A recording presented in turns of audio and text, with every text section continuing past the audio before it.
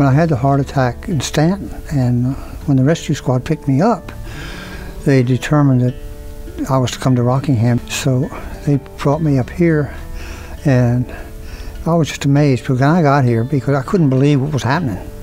It, I, I was, of course, I knew I was having a heart attack. I would say within 15 minutes, they had me ready to go in to, to start the procedure.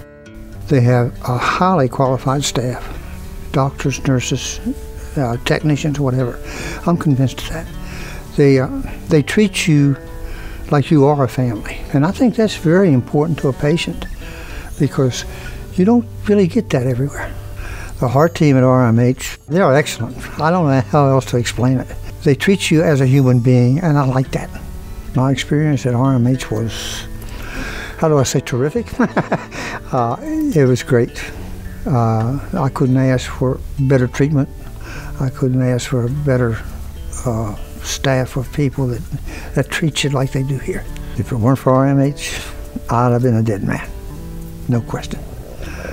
Uh, if, if they hadn't have taken care of me the way they did, I'd have never made it.